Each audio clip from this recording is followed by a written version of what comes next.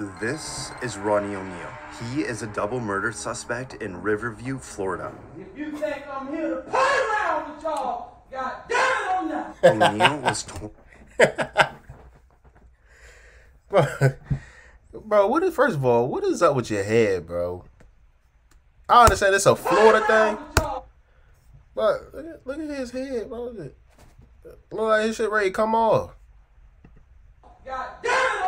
O'Neal was 29 when he fatally shot his then girlfriend Kenyatta Barron. Following this, he murdered their own daughter by striking her multiple times with a hatchet. She was only nine years old. O'Neal also stabbed their eight year old son before pouring gasoline all over the house and setting it on fire. O'Neal was arrested upon fleeing the burning house. The son was able to escape but was critically wounded and suffered from burns. The first Bro, just imagine, yo. His son, the only one who's still alive. How traumatized he probably be? All because you- you wanted to do some dumb BS? Sad, bro. 911 call on the incident was from the girlfriend who was heard screaming before suddenly hanging up. Eight minutes later, another call came in from O'Neal. 911, what is your emergency? Hey, I just been attacked by some white demons inside was inside Kiki. Kiki, her name is Kiki, and she tried to What? Oh. You was inside Kiki. was inside Kiki. Kiki, her name is Kiki, and she tried to kill me. And, What's and the I- ad? Huh? After the arrest, O'Neal was psychologically cleared to represent himself in court. During the trial, he cross examined his now 11 year old son, who he stabbed, to which the son explained everything that happened. That's your own son. Good to see you too. And he still got respect. Did I hurt you that night of this incident? Yes, Why are you talking I like did. that? And how did I hurt you? you stabbed me. O'Neal also accused the prosecution of fabricating evidence. Because he's playing a fraudulent damn recording of me beating Kenyatta Barron. I did kill Kenyatta Barron. That's one thing in the After courtroom, O'Neal- bro. Just by you saying it's fraudulent, just because you're saying it's fraudulent, especially you the suspect in this situation, they not gonna care what you gotta say. Like you just wasting your breath at this point. Found guilty. At his sentencing, the judge went on to say this was the worst case she's ever seen. This is the worst case ever, ever in my life, and I have As soon as she seen said that, you lost right there. horrors. He also stated that right he was not as she said sorry for what he did. I am not sorry for something I didn't do, and I am not sorry for the things I did do. O'Neal was given a total Yo. of three life sentences, I can't take it, plus serious, 90 yo. years without parole. And for O'Neal's son, he was adopted by the detective who cared for him the night of the murders. This is Randall Moore. He is facing three life sentences for crimes against his former wife, Therese Ann Lynch. Lynch had left her husband and filed a protective order against him. This resulted in Moore kidnapping and killing his estranged wife. Officer Todd Rowland responded to the cries from the apartment, where he was then shot and wounded. Okay, 303 Adams been hit, officer down. Suspect's armed with 20 shells. Advises nobody come to the door as he will shoot again. Shortly after, Moore had a phone call with a 911 dispatcher. Listen as he explains his motives. I didn't want to do any of this. Okay. But I'm telling you, all I wanted was my son. I just wanted to see my seven-month-old baby. That's all I cared about. Not long after, Moore surrendered, and for Officer Roland, he underwent surgery for his hand. As the verdict is read out, Moore gives nothing but a slight nod. We, the jury, find the defendant guilty of murder in the first degree. We, the jury, find the defendant guilty of kidnapping in the first degree, guilty of sexual abuse in the first degree, guilty of attempt to commit murder. At Moore's sentencing, Lynch's mother gives a victim impact statement. you did to my daughter, Teresa Ann Marie Lynch, was evil, hateful, and despicable. You are now dead and rotting and repulsive to me.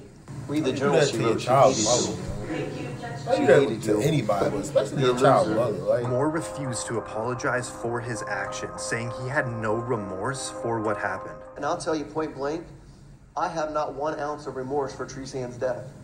It could have all been prevented. All you had to do is let me see my kid. So now you- you're never gonna see her again. so you kill her. Just because you can't see your baby, and you try to justify like that's cool, like you. But They gonna now have fun with you comes in the jail. judge. If anybody didn't know what a piece of work you were before you start talking, they know it now. The court doesn't allow me to punish you any more than I'm doing now. If I could, I would. Moore was given a total of three life sentences plus 25 years for the attempted murder.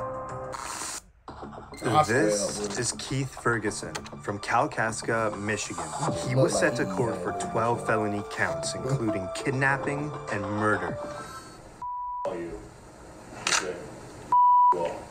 Ferguson, who was 40 at the time, was engaged in a divorce argument with his wife, Tiffany Ferguson, when he began to suddenly beat her, followed by fatally shooting her in front of their four children. He then hauled the children over to Tiffany's parents' house, where he fatally shot his father-in-law. Like, why you doing that After in front of fleeing the scene, kids? Ferguson stormed a nearby house, taking the owner hostage, and barricaded himself inside the home. After a seven-hour standoff, Ferguson was arrested. All right, Mr. Ferguson, can I get you to stand up there at the podium, please? All right, I need to have you raise your right hand for me. You say you. Whoa. I know he ain't just say what I thought he just said. Ferguson, can I get you to stand up there at the podium, please? I ain't All right, I need to have you raise your right hand for me. Okay, all right. Um, Bro, and she Okay, trying to be nice to you too, bro. um, Like she At could easily say you Tiffany's back or best easily give you gives more a time. victim Easily impact fine. statement, saying she always felt that Keith would hurt his wife. I knew one day we would kill her. She would always reply, he loves his kids too much. He won't kill me. He just look like he don't care. He loved them so much. He murdered their mother Like and grandfather. Phase him. When asked about his children, Ferguson never desired to see or speak to them again. The judge responded by saying, You may not meet the clinical definition of insanity, um, but there's clearly something fundamentally wrong with you. Ferguson was given a life sentence without the possibility of parole. See y'all in hell. You gonna see yourself in hell. You gonna buy your This dad is something. Michael Everybody going with Swanson, who was 17 when he went on a killing spree of two Iowa gas station attendees in the span of an hour. Where did you shoot? On the body? Yeah. And in the face? In the face? Okay. Why, why in the face? I thought I was just gonna shoot to injure her. Why would I shoot her at all? Swanson entered a gas station in Algona, Iowa, in a ski mask and a handgun, demanding cash and cigarettes from 47 year old Vicky Bowman Hall. Despite following the request without hesitation, Swanson still shot and killed her. An hour later in Humboldt, cigarettes Iowa, Swanson little bit of repeated the cash, bro. same act in another gas station. probably get no this more time killing Sheila Myers. He was arrested 60 miles away from the shooting when authorities identified his vehicle. With both victims following his request but were killed anyways, it indicated that murder was Swanson's primary goal. You know, it feels powerful or that it's kind of a rush or uh, what, what did you feel when you pulled the trigger? I feel powerful. Swanson was charged with two counts of first degree murder and two counts of burglary. All allegations of Swanson's motives were answered by himself.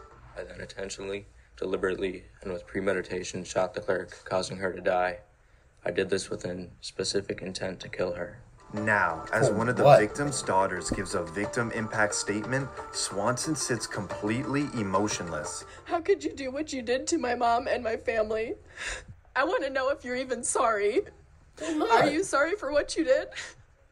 My mom was not only completely 100% innocent, but she was also a defenseless woman when you came in with that gun. You said you did it for cigarettes and money and so no one could identify you, but I think that's a lie. You did it as you later said on that it was so you could feel powerful. As Swanson was sentenced, he smiled and laughed. cold-blooded murder. Cold-blooded murder, young man. You are dangerous. You are unpredictable. This a video game. That's his Prison problem. For the rest of your life. Swanson was given two life sentences, and four years Oh, yeah, into his sentence, he slit another inmate's throat.